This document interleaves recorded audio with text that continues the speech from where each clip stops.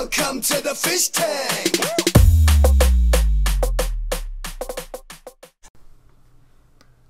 Hey everybody, Fishman here, welcome to another video.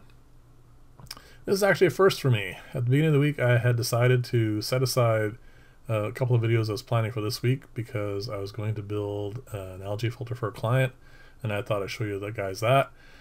Then the week got really quite busy and some other stuff came up and I didn't have quite enough time to finish it. It's, well, 99% done, but I had to build a bracket to put over the aquarium and I also had to do the plumbing for it uh, all that stuff will get shown at the end of this video, uh, but I didn't have enough time to actually get it up and running and show it to you. Uh, so you get a an update on that, and then all I'm going to do is uh, later on I will show it to you working and uh, show, well, hopefully it'll, it'll have a positive effect on the aquarium. So that leaves uh, a big gap. so what I wanted to do is give you guys an update on this aquarium. This is the marine aquarium I set up. It is ultra low tech. Uh, all that's on this is uh, two LED strips. Uh, they're well, basically two 10K LED strips, uh, pretty much one foot each uh, over the top of this. And this box under gravel filter. And that is it. All the maintenance I've done on this so far is I did a couple of water changes and I cleaned the glass a bit so you can actually see inside because it was getting a bit green.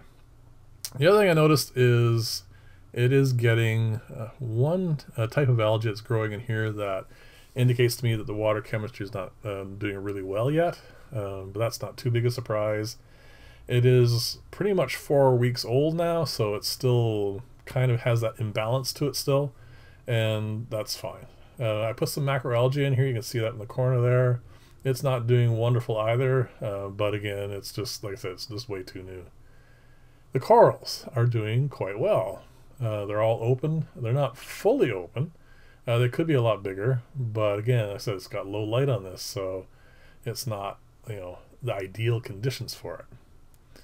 The other thing I did, of course, as you can see in the bottom, is I put sand. Uh, I, I just don't like bare bottom marine aquariums, which is kind of funny because all the uh, the fish tanks in my fish room are all bare bottom because well they're fresh water. And this one just didn't it just didn't look right. So I figured I'd put some sand in there. It makes it look a lot more the way I think it should look. So you see these corals are all out. They're all doing quite well. I haven't really noticed any uh, die-offs or any slowdowns or but I also haven't noticed any growth either but again this is all really new so keep that in mind when you're looking at this and thinking about it. There's no way to make any kind of uh, decisions about this yet as far as whether or not it's a feasible thing. It's going to have to go for quite some time. Uh, the other thing is I have to add some fish. I haven't decided what I want yet in this tank. Uh, but something has to go in it, obviously. And then I also need some cleaning crew. I'm going to put some snails in here, of course, uh, some, uh, some crabs, uh, that's probably going to be the extent of it initially. I may add some shrimp later on. I don't know. I mean, this is all, uh, like I said, it's all an unknown, right? I just want to see how it will work. I didn't want to do anything to it until I at least had, uh, well, probably about six to eight weeks of it just like this, just to see if uh, it is actually something where they're going to you know thrive. I don't want to put these in here, have them die, and then like say, oh well. Uh, so that's that's not my intent here. So they're doing quite well. You know, they're surviving. Let's just put it that way. You can see the bit of the bad algae up there in the upper right hand corner there. So that has to go away for me to be start considering this being uh, viable. It is uh, it, it's important that this does well. I don't expect it to do as well as obviously the high-tech marine tanks, but uh, it should hopefully end up giving you guys a possibility. Like, not everyone can afford all the bells and whistles that go on uh, marine tanks, uh, so that's what I want to see. Is it possible with just a little box under gravel filter, and all that's in there is just a bunch of larger pieces of crushed coral, and at this point probably some sand because uh, obviously, it was just spraying it around in there, and some of it would have gotten there as well. I am going to put on uh, air-driven wave maker into this. Uh, one I had built quite a while ago.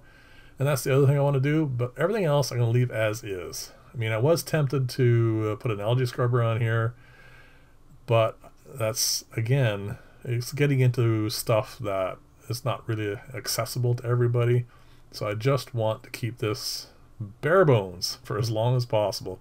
If it turns out that it's just not doing well enough uh, based on uh, these sorts of things, then of course I will have to uh, ramp it up a bit.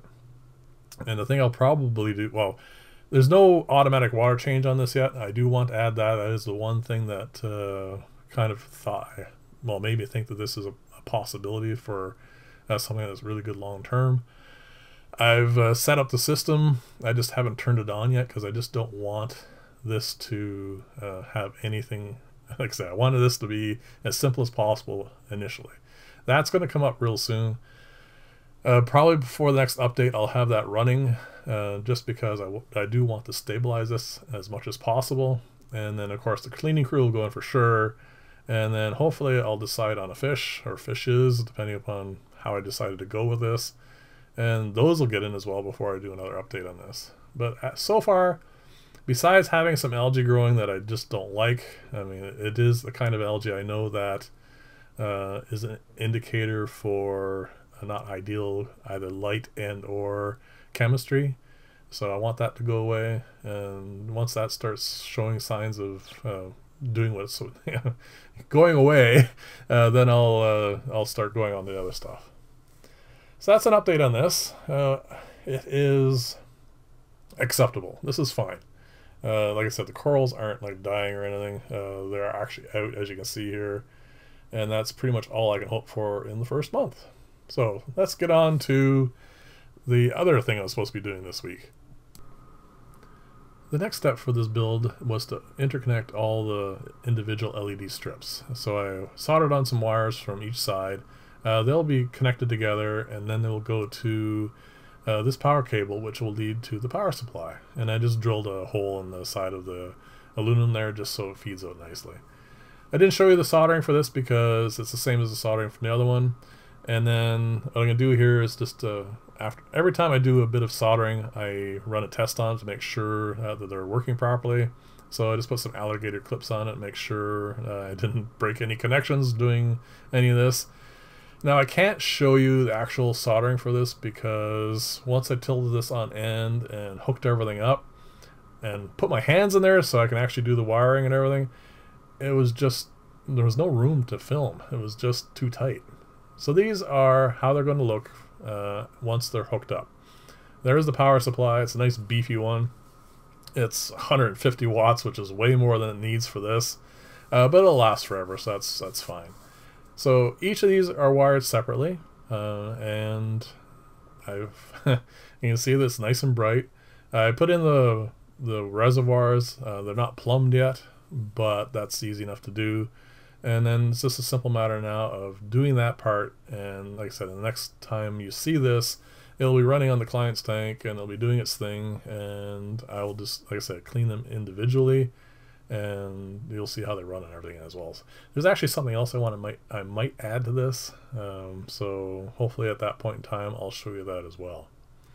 So here it is without the light on, so you can actually see it. Uh, it turned out pretty good. Uh, like I said, I used some uh, old aluminum for this, so it was kind of nice that it turned out reasonably shiny, and uh, it's uh, pretty much ready to go. Uh, there is a bit of a light leak with this. Uh, I don't think it's going to be a big issue considering where it's going. It's going up on top and there's a big canopy and everything. Uh, but we'll see how that goes. I mean, you never know. Uh, we will see uh, if the client uh, finds it annoying because it is in their living room. so I may have to do an additional amount of well, tinkering with it just to get any kind of light leak from, well, basically from annoying them. other than that, that's pretty much it. So I'm sorry that you had very little on the algae filter build today, uh, but that's all I had time for. It was, like I said, it's been one of those crazy weeks. Uh, but there's been a number of people who have been interested in the uh, marine tank, so it's kind of cool just to show that and show you guys how that's all working. And then I will definitely do updates on both of these. And hopefully next week we'll get back to a, a more of a regular routine and uh, catch up on some of the stuff I've been uh, meaning to do. So thank you very much for watching. If you like this style of video, please like and or subscribe. And always uh, leave comments below. Uh, I'm answering them all, and I like to keep that going. And we'll see how I can, if I can keep up with that too. So thanks again for watching. I'll see you in the next video, and bye for now.